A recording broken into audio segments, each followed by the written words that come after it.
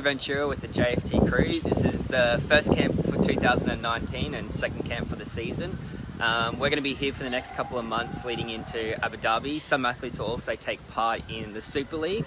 So today we're just going to follow the athletes and do uh, a basic run and um, some strides to finish off the session.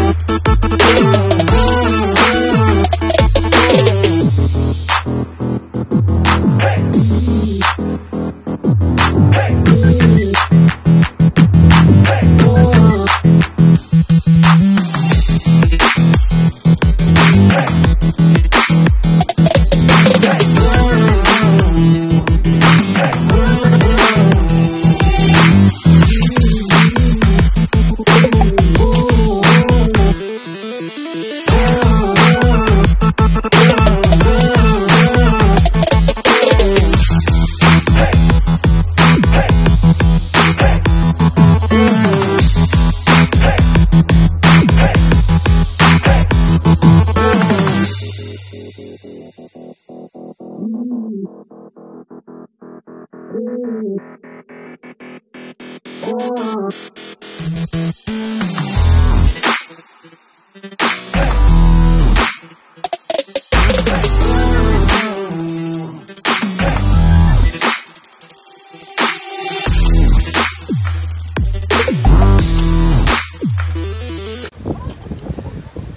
that's us done our strides. Um, we did uh, 12 by 30 on with 30 float and uh, just along the boardwalk here by the beach.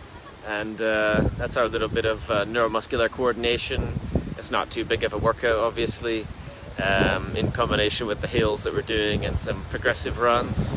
And uh, yeah, it all, all looked good. Um, just managing the training load at this time of year and uh, eventually we're going to build up to the track and longer hills and uh, more specific work but for now we're uh, we're just getting the strides done and feeling good running fast